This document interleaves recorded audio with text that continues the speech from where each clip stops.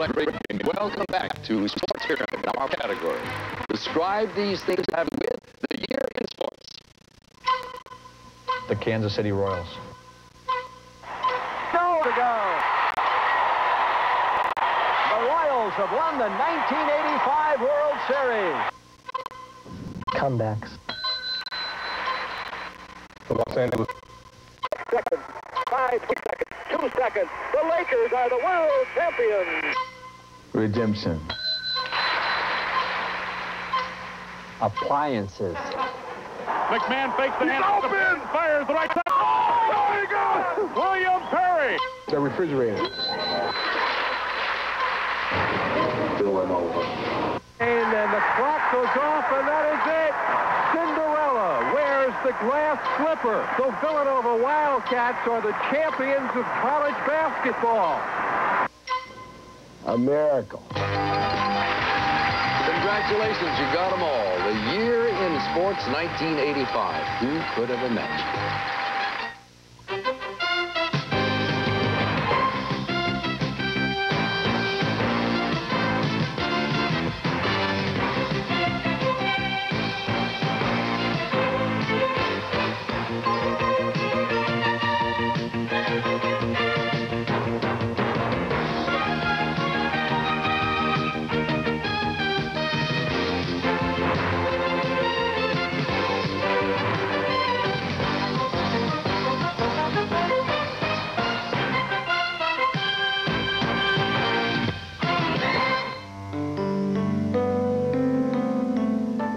Central Park, 840 acres of prime real estate in the heart of New York City. It is quite probably the world's largest playground, an arena without walls, a stadium without seats, a place where everyone can be a kid and every kid can be a hero. Good afternoon, everyone. I'm John Tesh. And for most of us, a day in the park brings back those childhood memories.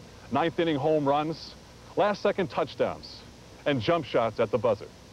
Of course, for almost all of us, those dreams remain just that, dreams. But each year, for a few special athletes, those fantasies become reality. And for the next 90 minutes, we'll meet some of those special athletes who, in retrospect, raise the rhetorical question, who could have imagined? In college basketball, everyone had high expectations for teams from the Big East, but no one could have imagined who would topple mighty Georgetown. In college football, who would have believed that going into the bowl games, Penn State would be unbeaten and ranked number one? Who could have foreseen that an unranked 17-year-old German would conquer Wimbledon, while his fellow countrymen would master the Augusta National? And if all that is hard to imagine, how do you think Larry Holmes must have felt waking up to find that the heavyweight champion of the world is named Michael Spinks? In pro football, the Chicago Bears started unexpectedly strong. And who could have predicted that a 300-pound defensive lineman would become a demon ball carrier and a national hero? Also, John Madden will show us some of the most entertaining plays of the year. And Brent Musburger will tell us about an unimaginable Kansas City comeback that made the Royals the kings of baseball. We'll be back with that story and more when we continue. Well, with the cold winter weather closing in, sports fans can always warm themselves in the memory of those boys of summer. There was Saberhagen and Gooden on the mound, Mattingly at bat and McGee on the bases, and those are just a few of the names who are going to be the stars of the next decade. And while they were stepping forward to be heard from, well, some of the greatest names in the history of baseball said, let's have one more moment in the spotlight. He levels the bat a couple of times. Show kicks and he fires. Rose swings. There it is! There it is! Get out! Get out!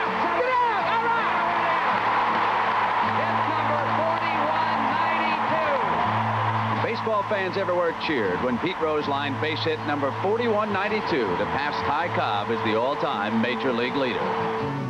Back in 1967, Rod Carew and Tom Seaver each won Rookie of the Year honors.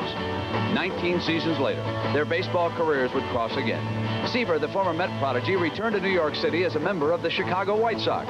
Looking for pitching victory number 300, Tom Terrific did not disappoint the New York fans at Yankee Stadium. Seaver became only the 15th major leaguer ever to reach the 300 plateau.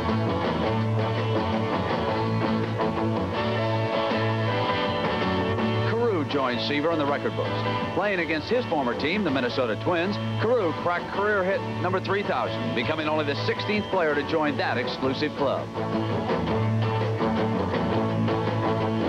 Niekro's attempt at baseball immortality took as many strange twists and turns as the knuckleball from which he makes his living. Like Seaver, Niekro was attempting to win his 300th career game. He fell short against the Blue Jays in his first try. He then failed again in his second bid. And he was knocked out of the box in his third try. The best he could do in his fourth was a no decision. Finally, on the last day of the season, Niekro nailed down the elusive 300, giving baseball fans a last warm memory of the heroes of 1985. But during the heat of summer, a deep chill settled over the sport. There was a major drug scandal unfolding in Pittsburgh, and for the second time in five years, there was a players' strike. And once again, the ballparks were empty when the players and owners could not agree on the issue of salary arbitration. When the players walked, both sides acted quickly. A compromise was reached and the strike was over within 24 hours. Like everyone else, I'm pleased that this is over and we're back to playing baseball. I'm sorry that uh, we couldn't get it done without a strike. We have an agreement that we hope will work, that we're going to do our best to make work over the next five years. But baseball was cast in an even darker shadow when player involvement in a Pittsburgh drug scandal began to unfold. Curtis Strong, a former clubhouse caterer from Philadelphia, was accused of selling drugs to major league players. A number of them testified under federal immunity. Each day meant shocking new headlines as more players, past and present, were implicated in the growing scandal. Parker of the Cincinnati Reds, J.R. Richard, once with the Houston Astros, Al Holland of the California Angels, and Jeff Leonard of the San Francisco Giants were implicated as having used cocaine. Strong was found guilty by a federal grand jury on 11 charges of possession with intent to distribute cocaine in Pittsburgh, Pennsylvania. Baseball attempted to put its troubles behind as the playoffs began. In the National League, the Cardinals and Dodgers squared off for the pennant. The Cardinals had lost the first two games had come back to tie the series at two games apiece. Game five was two all going into the bottom of the ninth when up came Ozzie Smith. Here's the pitch. Hit deep toward right field by Ozzie Smith. Away back. Would you believe it? A home run by Ozzie Smith. He has done it. He has put the Cardinals ahead. Three games to two. Game six and a new St. Louis hero, Jack Clark. He provided the long ball heroics. His three-run blast gave St. Louis a 7-5 victory and propelled the Cardinals into the World Series.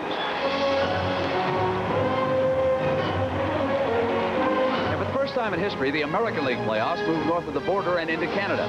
Toronto took a 3-1 series lead over Kansas City, but the Royals battled back, winning Game 5 2 0. Then in Game 6, light-hitting shortstop Buddy Biancalana became the hero by doubling into center field. He took third on an error, and that put the Royals on the road to a 5-3 victory, and it squared the series at three games apiece. In Game 7, Toronto manager Bobby Cox saw his Blue Jays lose the game and the pennant to Kansas City. The Royals became only the fifth team in history to overcome a three-game-to-one deficit and win a postseason series.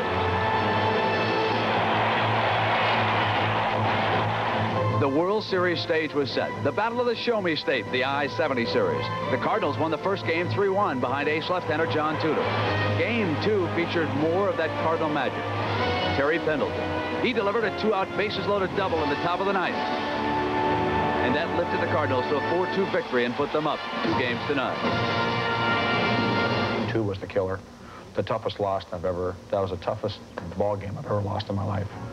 St. Louis opened a 3-1 series lead, but the Royals came back in a game six at the bottom of the ninth. Jorge Orta was safe on a controversial call. Up came Dane Iorg. Base hit loaded, one out. Swing and a base hit into right. Kansas City win. Here's the throw home by Van Slyke, and the runner is safe. And Kansas City wins the game 2 to 1. After we won that game in the fashion in which we did win it, coming back with two runs in the bottom of the ninth inning, the seventh game was ours, with Saberhagen pitching. Saberhagen, who hours earlier had watched the birth of a son, pitched like a man with another mouth to feed, shutting out the Cardinals 11-0 in Game 7. Once again, the Royals had rebounded after trailing three games to one, and the reward this time, their first World Series title. By far the greatest moment of my life, because we defied all the odds. We came back time and time again, showed a lot of courage, showed a lot of heart, showed a lot of pride, and then uh, came back and win. By far the best.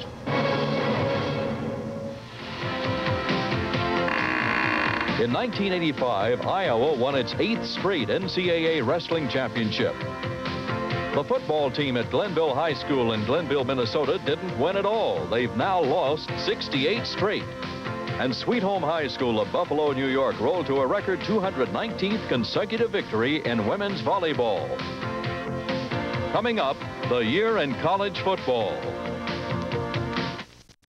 College football players were wrapped in over 112,000 miles of tape. That's enough tape to bandage the planet Earth four and a half times. College football. Every September, predictions are made, and every December, they're proven wrong. This year was no exception.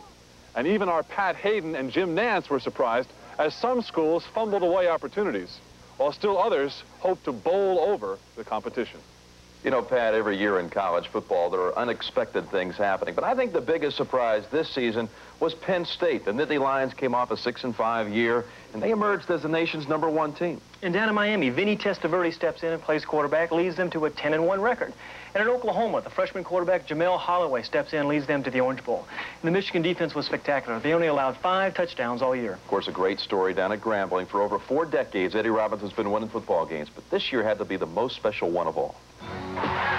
It was October the 5th when Eddie Robinson became college football's all-time winningest coach, picking up victory number 324 to pass the legendary Paul Bear Bryant of Alabama. At Notre Dame, Gerry Faust became the losingest coach in Irish history.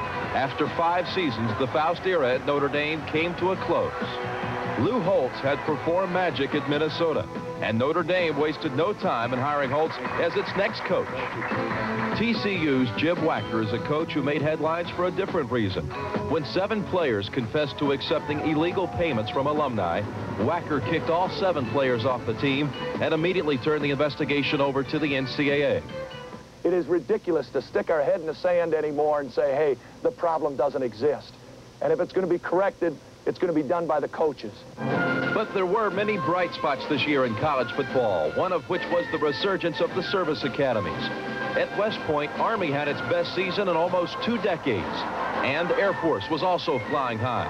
The Falcons at one point climbed to number four in the rankings and claimed the Commander-in-Chief trophy.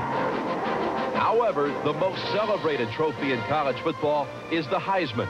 And this year it came down to quarterback Chuck Long of Iowa, who led the Hawkeyes to the Big Ten title, and running back Bo Jackson of Auburn, who rushed for almost 1,800 yards and 17 touchdowns. In the closest vote in the history of this trophy, the winner is, from Auburn University, Bo Jackson. It was a record-breaking season for running back Joe Dudek of Plymouth State. All he did was score 79 career touchdowns, more than any college player ever. 79 was also the lucky number for UCLA's John Lee. That's how many field goals he kicked in setting an NCAA career record. And on his way to making the All-America team, John Lee became an American citizen. All of America was watching on October the 19th when number one Iowa met number two Michigan, and it came down to the final play. Rob Houghtlin is attempting a 29-yarder, which would beat Michigan. It's on its way, and it's good. The Hawkeyes' joy was short-lived, as just two weeks later, Ohio State upset top-ranked Iowa 22 to 13. Florida moved to the top of the rankings and raised the question, should a team on probation be eligible for a national championship?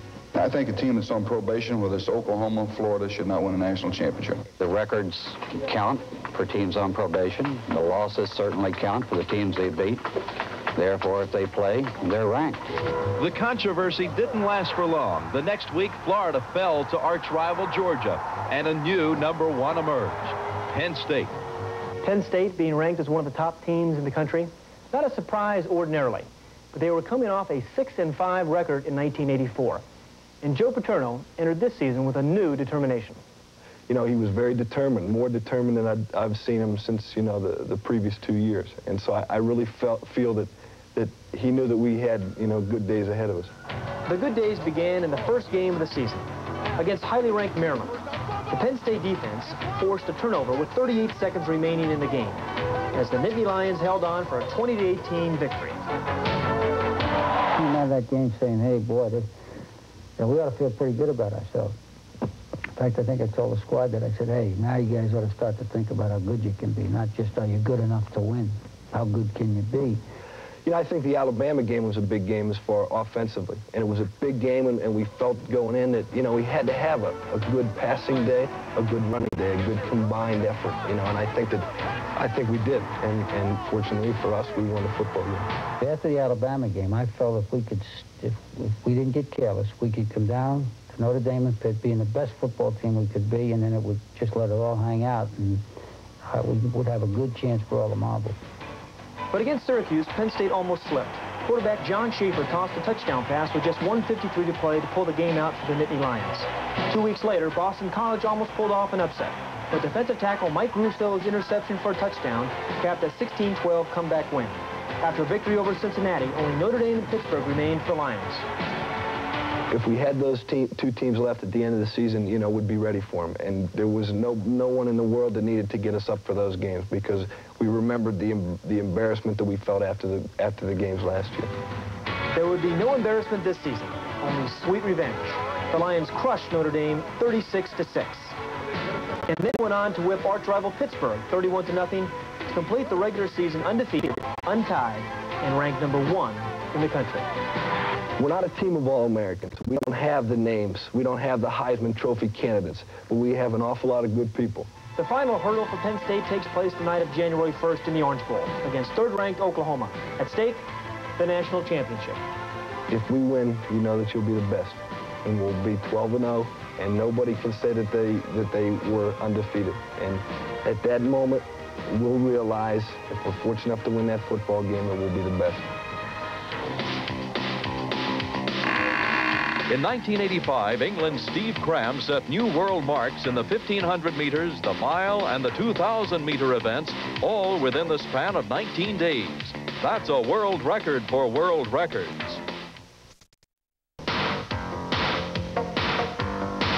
Nineteen eighty-five was many things, but it was not an Olympic year. It was the year after. Some of the stars from Sarajevo and Los Angeles came back down to Earth, while still others rocketed into even higher orbits and a cherubic high-flying gymnast named Mary Lou proved that the sky is the limit.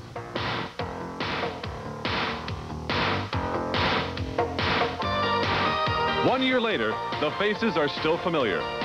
They were America's class of 1984. Bill Johnson became the first American ever to win a World Cup downhill, conquering the grueling Lauberhorn at Wengen, Switzerland.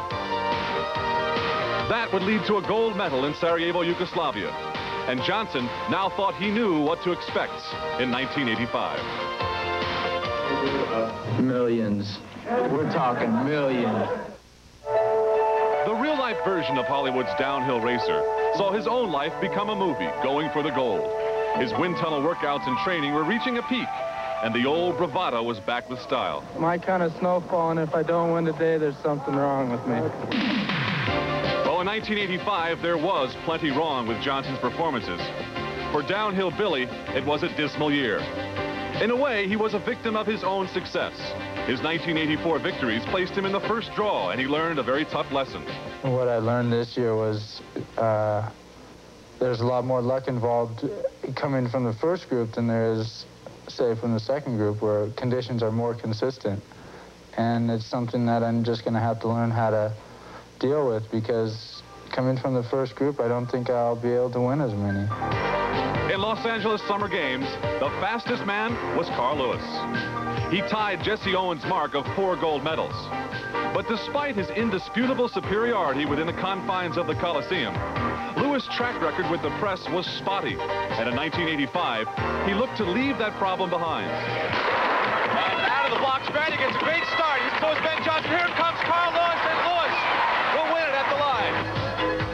Continued to compete and win in 1985, but on a track in Los Angeles, he sustained a hamstring pull that hampered his effectiveness. This is the first year I've had a major injury, and that set me back somewhat, but in a way it didn't. It just kind of pushed me forward a little bit because I needed a rest. So Lewis used his time off to pursue his interests in singing, dancing, and acting.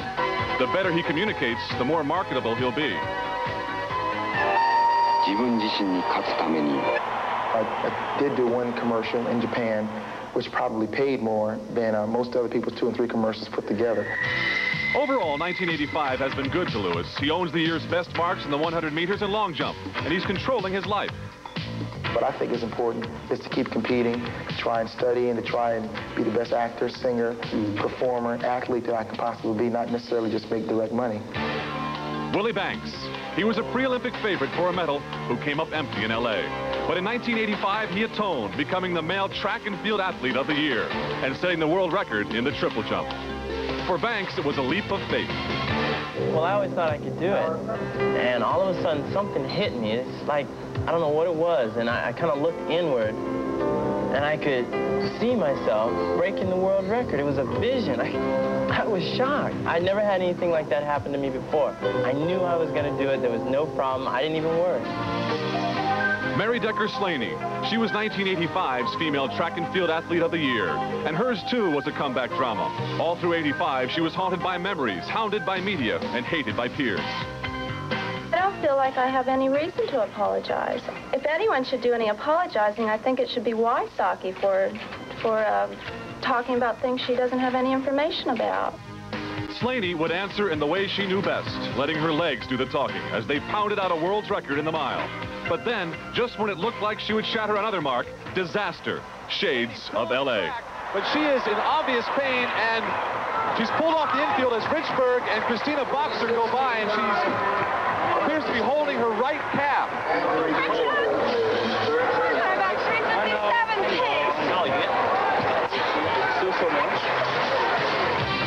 Healed, Slaney remained undefeated. She also settled her score with Zola Budd, easily outpacing the teenager in the 3,000 meters. All told, Slaney enjoyed her best season. Many detected a newfound maturity. And looking ahead, the new year will bring a baby.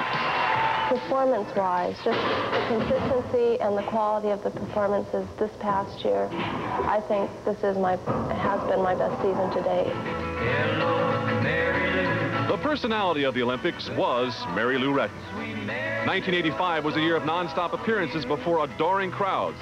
She was the envy of every teenager and politician in the land. It was a new life. So hello, Mary Lou, The biggest change in me would be I'm becoming a businesswoman. You know, I'm starting to learn the ropes, I guess you could say. Well, Mary Lou plugged away all year, providing nutritional counseling about what the big boys eat and assaulting us for batteries. Through it all, she never forgot what vaulted her to fame and fortune. Remember, you only get out of it what you put into it. And so every day, she put in a good five hours at the gym, staying sharp under the tutelage of her mentor, Bela Karolyi. But performing would never be the same.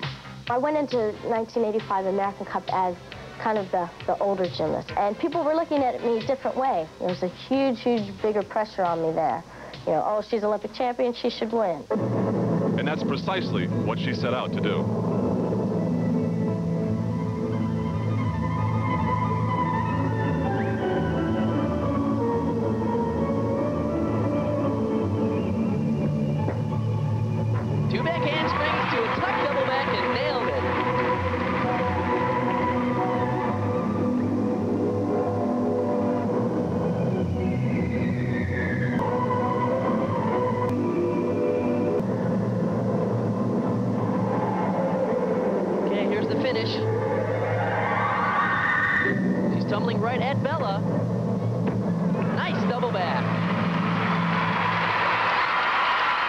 Such a big, big success for me. I'm the only one that has ever done that three consecutive years in a row. Nadia didn't even do that. that was a big thing for me. But the capper in a year of recognition was induction as the youngest ever member in the Olympic Hall of Fame. Just being in the 1984 Games was a goal for me.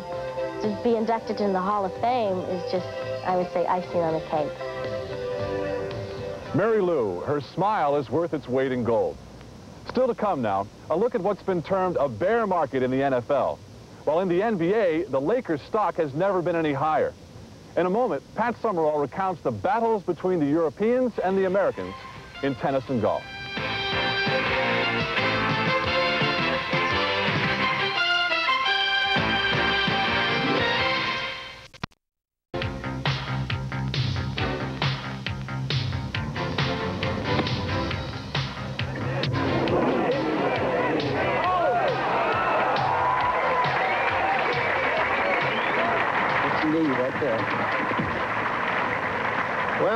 Mr. Sutton will miss his putt and I'll make mine, we'll just finish this telecast right off. Well, we did, but not the way David Ogrin thought.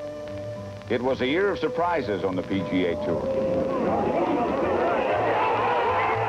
And Hal Sutton captured Memphis. One of 14 playoffs in 1985 that included Roger Maltby's win at Westchester. That surprised even his peers. Maltby hadn't won in a decade. And then there were the kids who'd never won at all and suddenly were winning everything. Some said nobody dominated the PGA Tour. Well, let me tell you something. These kids did and raised the level of their sport. We even saw an amateur win, and that hadn't happened since cars had fins and Ike was the president.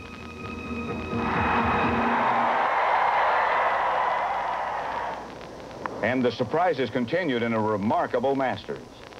Look at this. When you shoot an opening round 80, as Curtis Strange did, you're not supposed to win the Masters. But he had the lead with six holes to play. For birdie. Five under. He leads the 13th hole. Bernhard Langer cut it to two. But it was Strange's tournament. All he had to do was lay up short of the water at the par 5 13th. But guess what? He went for the green. 225 yards.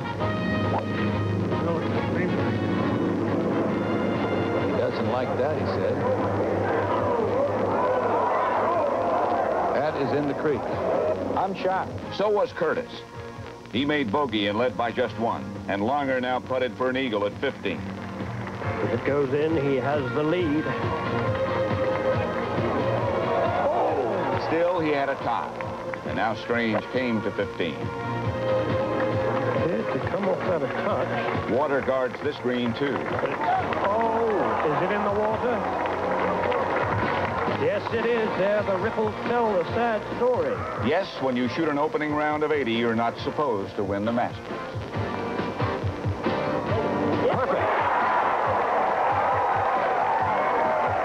Bernhard Langer's win signaled yet another surprise in 1985. A new challenge by foreign players, and not just in golf. In tennis, we were blitzed by something called... A teenage German named Boris Becker captured hearts, minds, and Wimbledon in 1985 with his daredevil style of play. While for John McEnroe, it was business as usual, except when it came to the business of winning. Ivan Lendl took the U.S. Open, but it was the women who played the match of the year. Fact, it was better than that. It featured the greatest player in the game against the only player who might have more talent. Hana won the first five games, but Martina forced a tiebreaker, and it went to three all.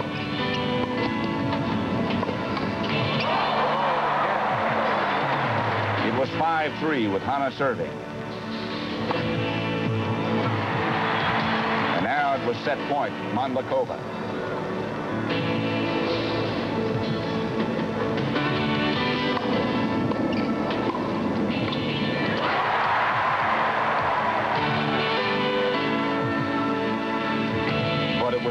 Over. Martina won the next set 6-1, and that evened the match. But in the final set, Hana scored the first break. She was up five games to three and only needed to hold serve for the match. But Martina got a break point.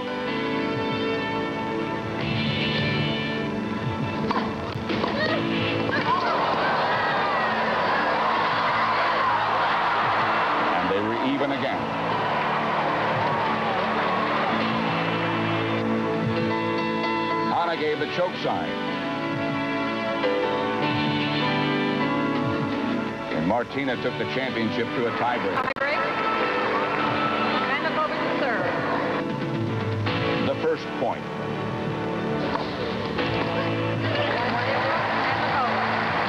The second.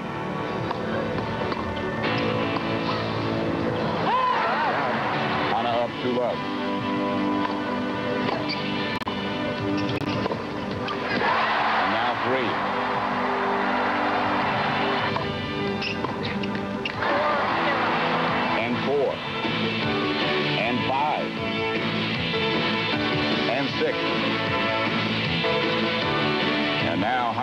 Seven match points. And now she had a championship. On a day when two women earned the pride of an entire sport.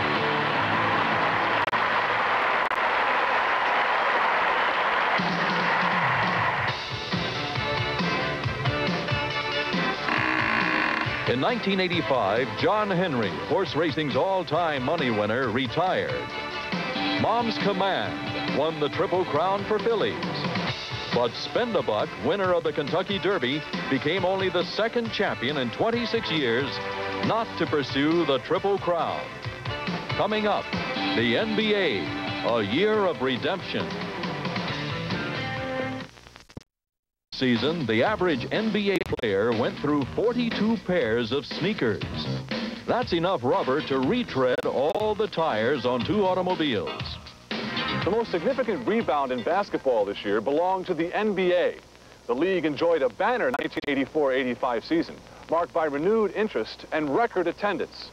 And the two gentlemen with the best seats in the house, Tom Heinsohn and Dick Stockton.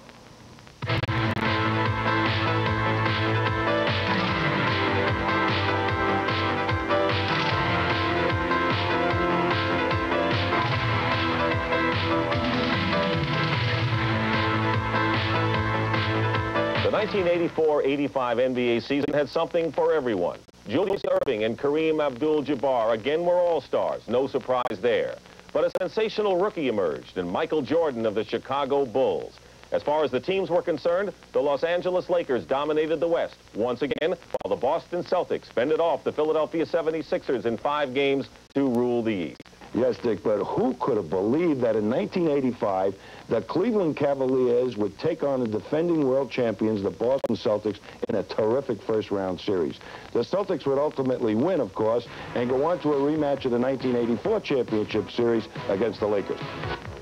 So the scene was set at the Boston Garden for Game 1, and throughout the Garden, Celtic fans harbored memories of 84. Boston's guard, Danny Ainge, finds the range early, scoring 15 points in the first period. Teammate Scott Wedman hit from all over, netting a perfect 11 for 11 field goals. And the Lakers came up short time and again as the Celtic fast break buried them by 34 points, 148 to 114. Back at the Garden for Game 2, the Lakers still smarting from their humiliation in Game 1. And it was their captain, Kareem Abdul-Jabbar, who took over, scoring 30 points. The Lakers 109, the Celtics 102. With the series tied at one apiece, the action shifted to Los Angeles. Both teams decided to get physical, as the action looked more like a wrestling match than a championship-level basketball game. And when the action was cleared from the floor, the Lakers blew by the Celtics 136 to 111 to take a 2 to 1 lead. Before the start of Game 4, league officials warned both coaches that violence wouldn't be tolerated. With the Celtics up by two and 23 seconds remaining, the Lakers turned to Abdul-Jabbar. But Magic Johnson knotted the score at 105, and it all would come down to this. Bird, double. Dennis Johnson, two seconds. It's good. The game is over. And so the series was tied at two, and game number five would be played at the Forum. Game five is the biggest game of the series because now that puts one team or, the, or other in the driver's seat. And the Magic Man was ready, scoring 26 points and handing out 17 assists. The Lakers assumed a three games to two lead as the series headed back to Boston.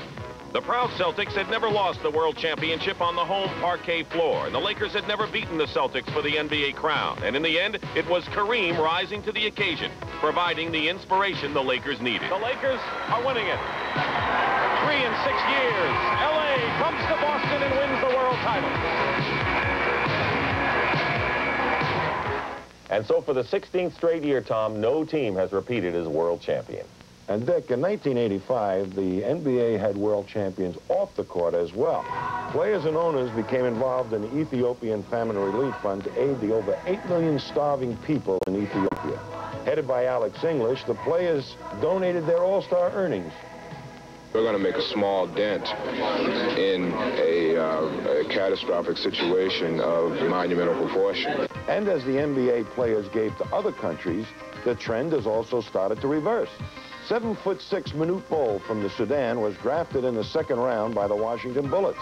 The foreign invasion began in the 1984-85 season as the Houston Rockets made Nigerian-born Akeem Olajuwon their number one pick. But the NBA's Rookie of the Year award went to the Chicago Bulls' Michael Jordan, whose hang gliding skills made him one of the league's premier attractions. And everyone knows who this season's main attraction is, Olympic gold medalist Patrick Ewing of Georgetown. Seven teams had their chance at the first NBA draft lottery, and it all came down to this. The second pick in the 1985 NBA draft goes to the Indiana Pacers. The New York Knicks came out the lucky winner. And then this past October, it started all over. A new season. The All-Stars back once again. Larry Bird, Isiah Thomas, Magic Johnson, Kevin McHale, and the new faces like Knicks center Patrick Ewing as well. But can the Lakers be the first team to repeat as champions in 17 years? Only time will tell.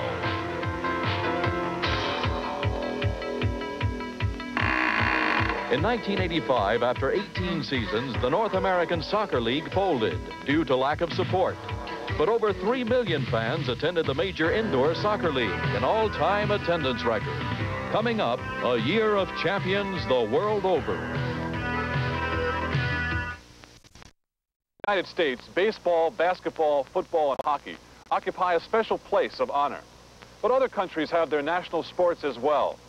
And here now are some of the sights and sounds of victory in a world of sports that's much wider than many of us imagine.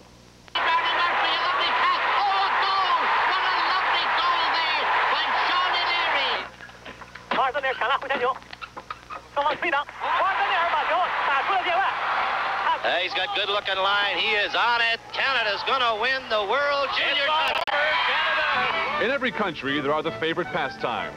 The arenas vary from the playing fields to oceans, deserts, and the local pubs. Seen in every pub, picked up easily. As low. 140. Almost like an athlete coming into the stadium, a lap behind. As Bristow looks at one dot for the match double 16.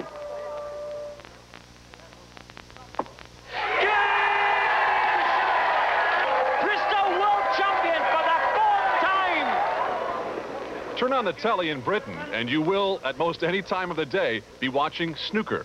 The World Championship was held in Sheffield. He's done it.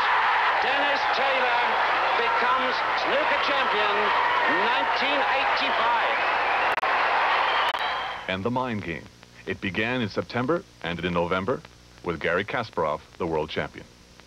From mind over body to bodies under rocks. In Spain, the Basque Rock Lifting and Dragging Championship. Baseball without gloves, crickets. In the playoffs for this year's World Series Cup, Australia beat the West Indies, and India went on to win the title. Football without pads, rugby's tournament of the five nations. In this match, France beat Wales 14 to 3, but Ireland went on to take the cup. The last time it was cold enough to hold this event was 1963. It's called Elfstedentocht. They race on speed skates through 11 cities. Evert van Benthem, the champion, in 7 hours and 6 minutes. 24 days, 8,500 miles through six countries. The Paris to Dakar rally includes motorcycles, cars, trucks, dust, and arguments, usually over buying gasoline.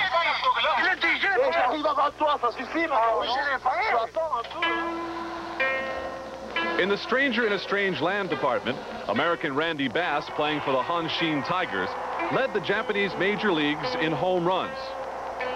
Bass belted out 54 homers, and that tied the legendary Sarahara O single-season record. Unfortunately for Bass, the final game of the season was against the team managed by O. So what happened? Well, Bass was intentionally walked four times. But our American in Japan remains a local hero. The Japanese love their records. They broke this one in September.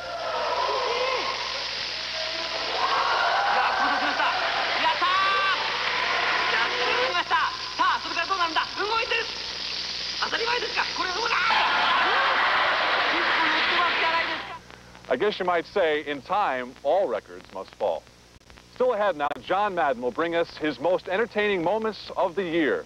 And two Americans, one a cyclist and one a skater, boldly challenge the world. And Tim Ryan will ring out the old and ring in the new year in the world of boxing.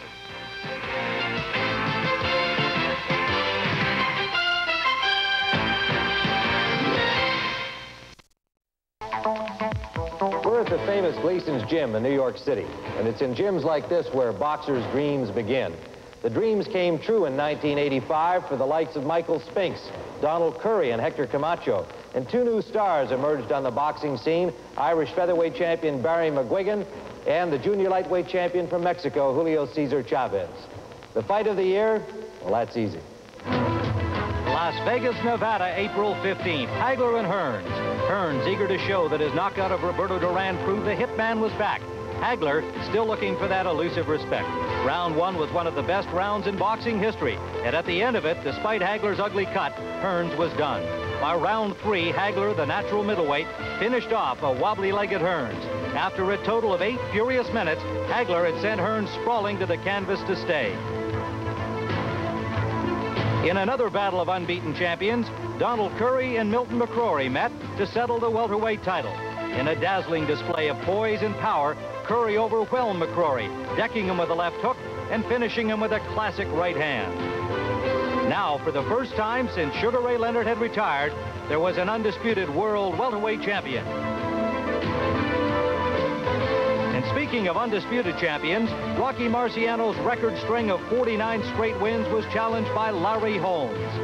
But his opponent, a beefed-up Michael Spinks, seeking to become the first light heavyweight champion to win a heavyweight crown, outlasted a confused and weary Holmes over 15 rounds. Decision and new IBF heavyweight champion of the world, Michael Spinks. 85 was one heck of a year for me. Yes, it was. Afterward, Holmes reacted bitterly to his failure to gain the immortality of a Marciano. I mean, if you really, really want to get technical about the whole thing, Rocky couldn't carry my jockstrap. A different Rocky came back in 1985, Rocky Balboa for Hollywood's Fight of the Year in Rocky IV. While a real-life Rocky, Ray Mancini, had a movie made of his life. Boom Boom was busy trying to script a happy ending by regaining the he had lost to Livingstone Bramble. Final seconds, good left by Bramble. Mancini firing away. The fight comes to a close in the center of the ring where they have been since the opening nap. The final chapter of the storybook career was etched on Mancini's bloodied face. Suddenly, Boom Boom was yesterday's hero. His name is Barry McGuigan, and he is the unlikely hero who, by his success in the ring, has united Catholics and Protestants alike in his native Ireland. Only peace flags were flying as young Barry captured a world featherweight title. It's a great incentive to know that at the end of the day, the people are, you know, enjoyed themselves and threw their arms around one another and had a great night, at least one night during the week. And uh, I'm very proud to be associated with that. And south of our border, there's a whirlwind boxer named Julio Cesar Chavez. This unbeaten WBC super featherweight champion had a perfect year in 85 and may dominate for years to come. And the fur was flying when the best dressed champion of the year showed up to bedazzle the world with his macho mania. Hector Camacho's splendor was more than sartorial as he beat Jose Luis Ramirez to earn his second world championship. But 1985 was not as kind to Billy Costello. Once the unbeaten WBC super lightweight champion, Costello was upset by an unknown, lightning Lonnie Smith, who scored five knockdowns en route to an eighth-round victory. While Smith's fans celebrated, Costello ended retirement plans and aimed a comeback attempt against another former world champion, the legendary Alexis Arguello. For more on that developing story, here's Pat O'Brien. This was Arguello's last fight against Pat Jefferson. After two years, he's come back to make history to win a fourth title, something he's failed at before, but Alexis Arguello is not a quitter. Yeah, I am in a situation that I either I survive or uh, I drown. As, uh, as a man, I say I will, I will never drown if, if it depends on me, because I know what to do. the Alexis Arguello story is one of the most compelling in all of sports. It is many stories, really, one of rags to riches to rags again, of triumph and of desperation. But somehow all these stories seem to have the same ending. because Alexis Arguello always makes a comeback. Much of the story takes place here in Miami, Florida, but we begin in Managua, Nicaragua. Arguello grew up in the war-torn streets where if you didn't fight, you didn't grow up. Three years ago, we traced Arguello's past, where he first boxed, his father, who watched the war with one eye, his son become a hero with the other. We saw Alex's dream home stolen by the Sandinistas while Arguello was away trying to make history. He'd won three titles in three different weight classes, and in anticipation of a fourth, they sported Arguello t-shirts back home. These were great times for a dedicated champion. In life, I mean, if you take good care of yourself, nothing could happen. We know Cry is a great finisher when he gets you hurt. But some things did happen. Arguello was stopped by Aaron Pryor. It was a terrible blow, literally and figuratively. And after it happened again, Arguello lost touch with reality. And in the process, almost lost everything. I think the saddest part, I think, is I spent month with no knowledge. I was losing my wife, my kids.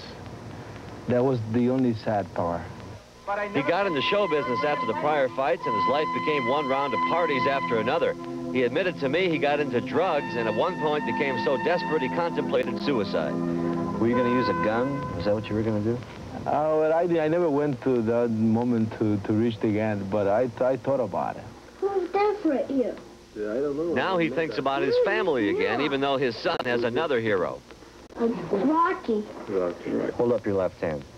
You're wearing a wedding ring again. Yes. The first time I've ever noticed. First time in my life I wear it. No more wild women? No, I don't think so.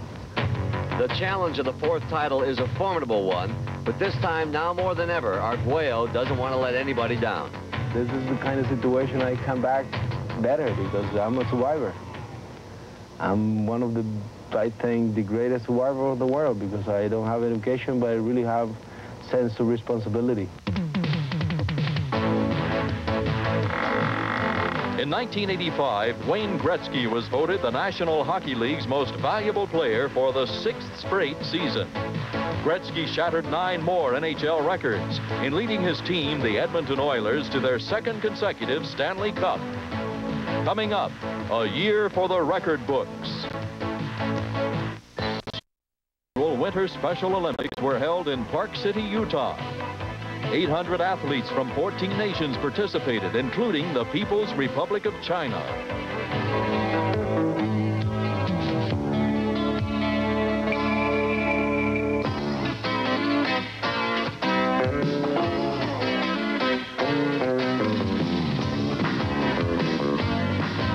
Here in Central Park, the bikers and the runners cut across each other, while a couple of blocks away, youngsters try cutting figure eights on the ice.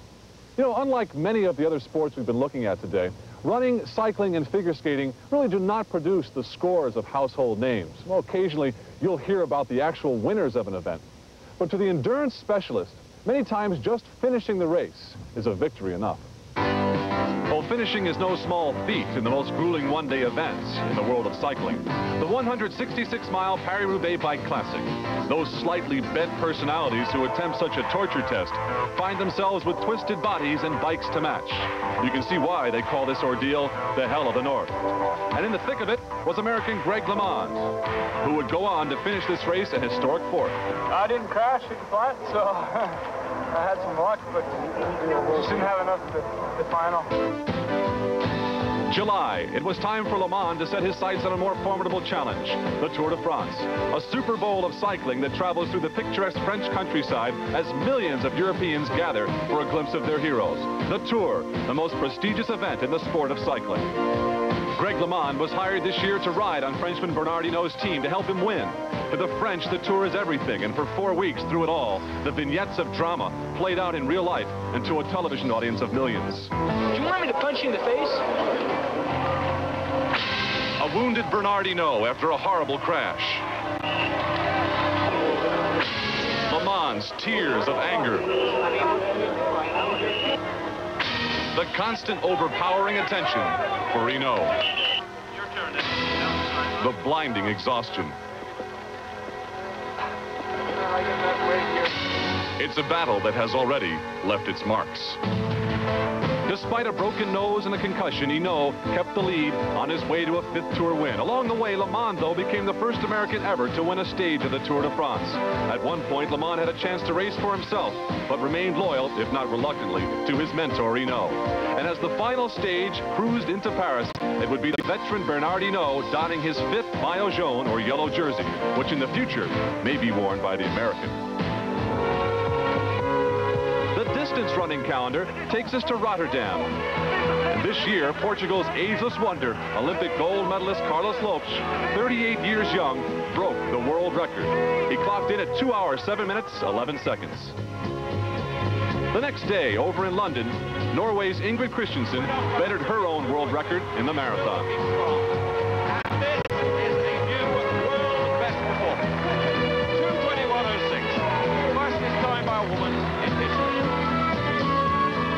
Kristiansen crossed the Atlantic to the United States, the site of three great races. In Chicago, Kristiansen took on Olympic gold medalist Joan Benoit Samuelson. This picture of the friendly adversaries did not last long, as Joan went on to win it, though not in record time. Steve Jones, the crowd is on its feet. Meantime, for the men, Steve Jones took aim at Lope's record. It'll be close. He missed by one second. But records of a different sort were set in New York. One was for participation. Over 17,000 began and more than 15,000 finished. Grete Waitz won her seventh tour of the five boroughs, and that's also a record. Moving westward to our 49th state, it was a battle against the elements for both humans and dogs. The Iditarod, the last great race on Earth. There were wipeouts also whiteouts as mushers fought their way across over a thousand miles of Arctic desolation. With hours to go in the race, Libby Riddles defied a fierce blizzard and became the first woman ever to win. After 18 days, there's no place like Nome. Figure skating. It's not the type of endurance events you've just encountered. The endurance here is of a far more subtle variation. It's a seemingly endless search for athletic perfection. Continuing across the Pacific, we visit Tokyo, Japan, the land of the rising sun, where two young stars dominated the women's figure skating competition. The battle for the world championship came down to the final programs. Katarina Witt from East Germany gave a dazzling performance.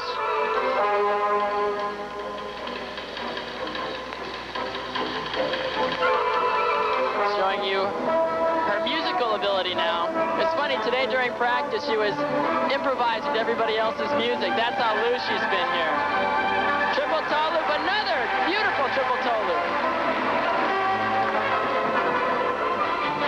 Then it was up to America's newest sweetheart, Tiffany Chin. Tiffany had to skate a better final program to beat Witt for the gold. And as she attempted to carry the legacy left by Dorothy Hamill, Rosalynn Sumners, and Elaine Zayak, well, the weight was just too much. Double act. Oh, oh. she flips. She had control. It looked like her foot just went right out from under her. That could cost her the world championship. It did, and once again, the queen of the ice remains Katarina Witt. And you can expect to see a rematch between Katarina Witt and Tiffany Chin in next year's World Figure Skating Championships. Still ahead, John Madden unveils his interesting, if not outrageous, plays of the year and will deliver his annual State of the NFL address.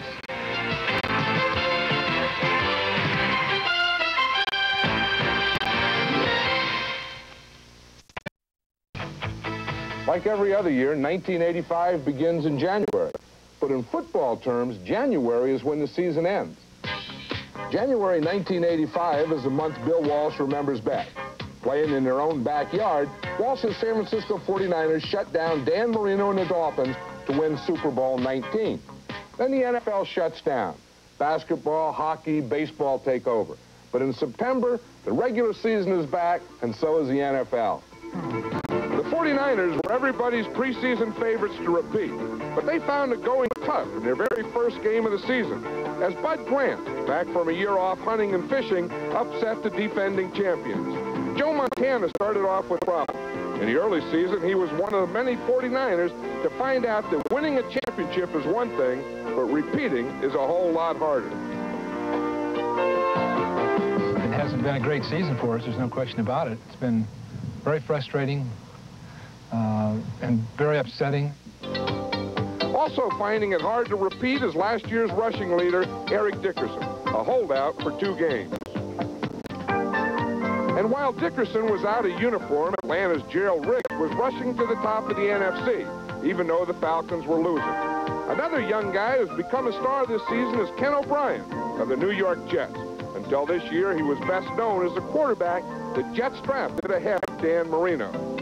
But this season, some familiar faces have also played well. Dallas's Tony Hill was among the leading receivers. And Walter Payton, already the NFL's all-time leading runner, again showed why he's headed for the Hall of Fame.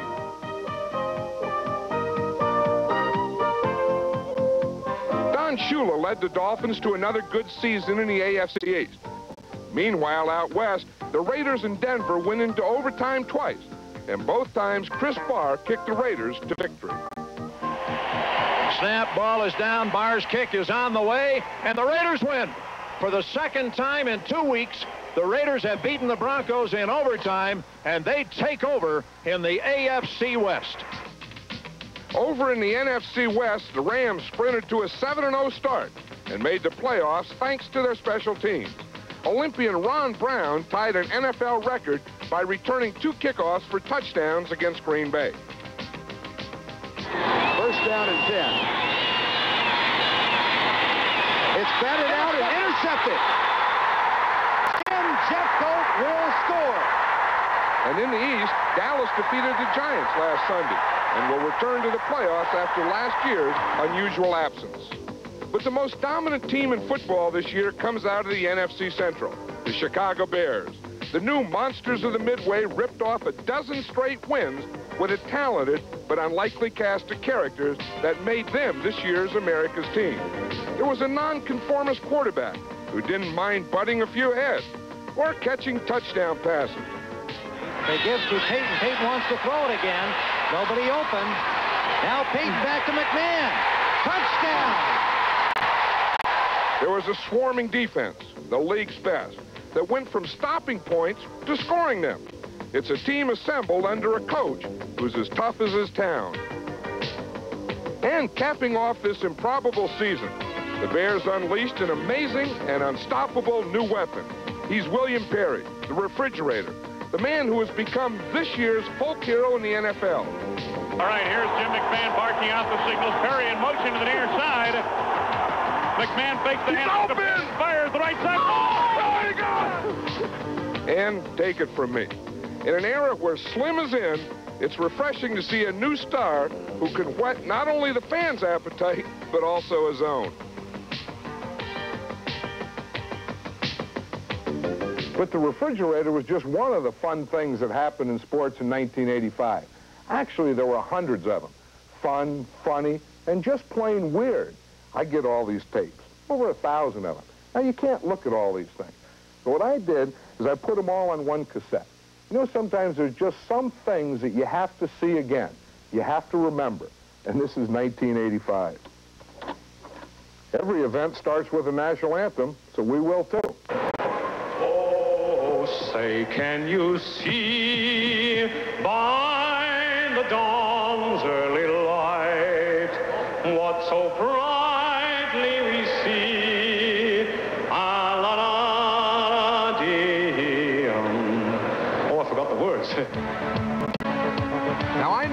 or two about breaking through these sheets. You're always worried about getting hit from the blind side. And if you like that collision, you'll love these.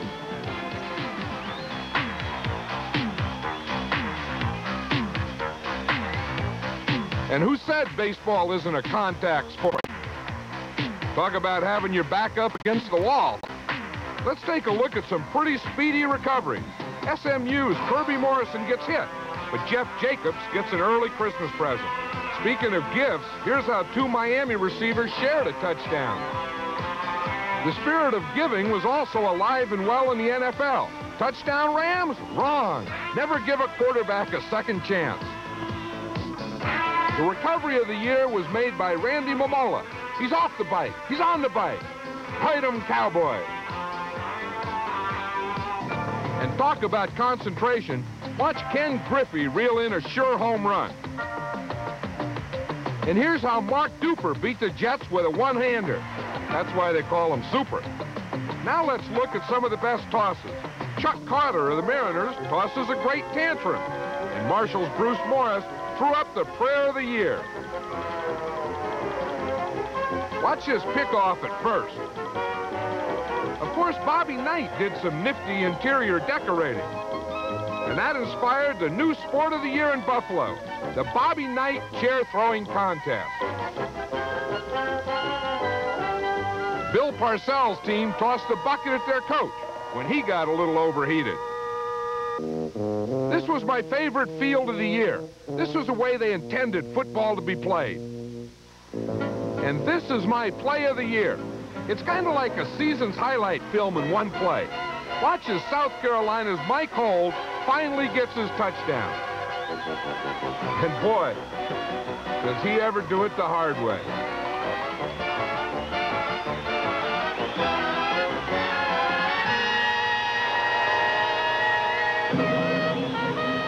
Now, most people who go to a bullfight root for the guy with a cape.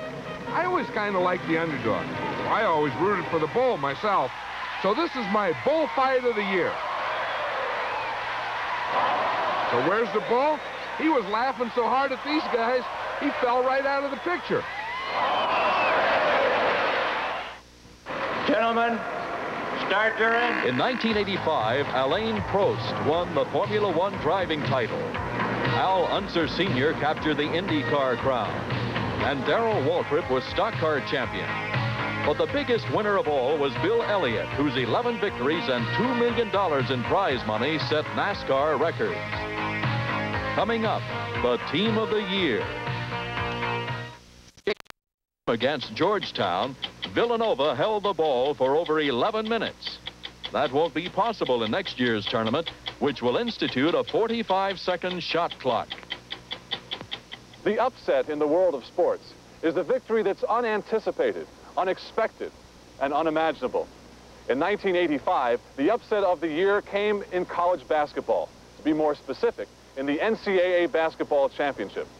Billy Packer tells us now of the year's most improbable fairy tale. No grieving, believing, the dream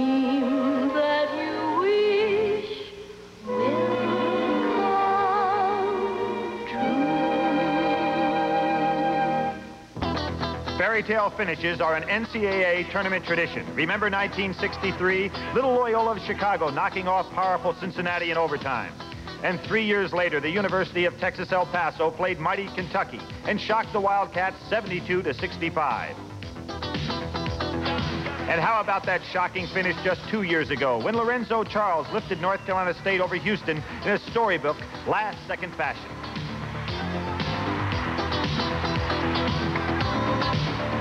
Obviously, there have been a number of Cinderella stories in NCAA tournament history, but 1985 and Villanova University may have topped them all. They were 19 and 10, had floundered during the regular season. As a matter of fact, with one week to go, had been blown out of the gymnasium by the University of Pittsburgh. They did not win the Big East tournament, and on Selection Sunday, there were those of us that felt they might not even make the field of 64. They did make it, and then came the month of March. And like Cinderella at the ball, Villanova was transformed. On March 15th, it was Dayton and Dayton. They got this basket with just over a minute left and held on for a two-point win. Ranked number two in the country, Michigan was next. But Villanova was not intimidated. Instead, a championship chemistry began to click.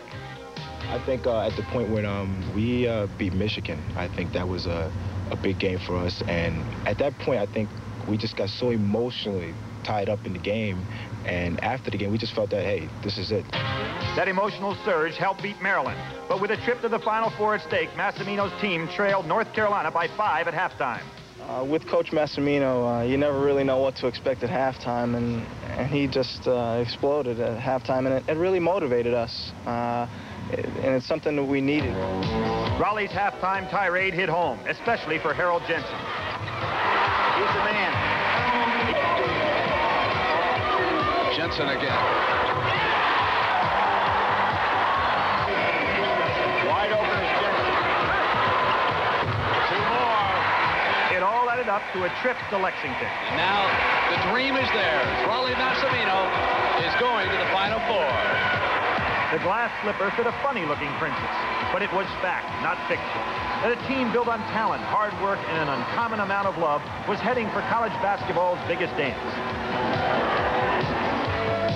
On March 30th, Memphis State fell under the Villanova spell in the semifinal game. It almost seemed easy compared to the first four.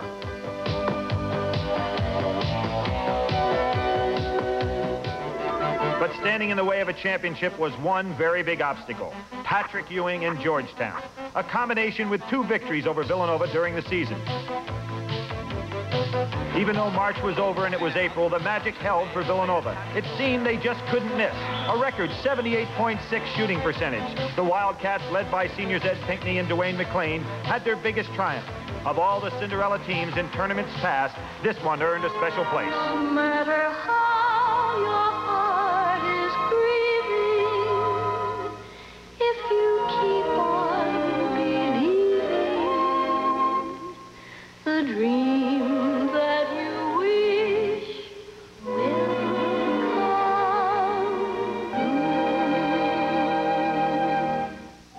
Coming up, a final look at the faces of 85. As we have taken our trip through this year in the world of sports, we've seen the triumphs and disappointments that are the staples of competition. But there have also been the heart-wrenching tragedies.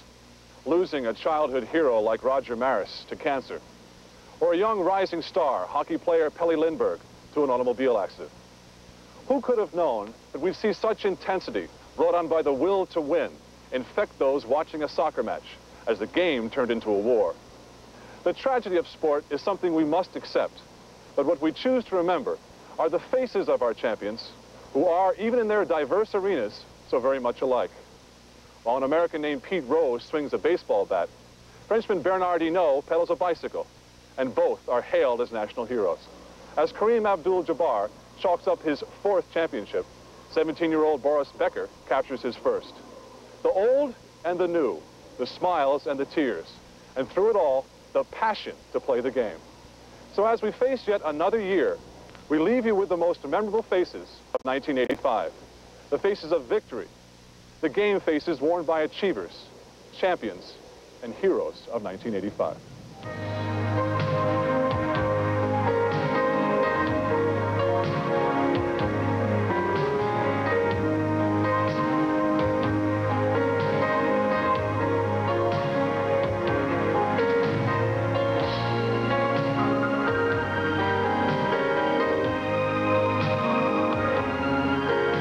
Special edition of CBS Sports Saturday has been sponsored by Budweiser. Beechwood aged for that clean, crisp taste. This Bud's for you. And by Kentucky Fried Chicken. Kentucky Fried Chicken. We do chicken right.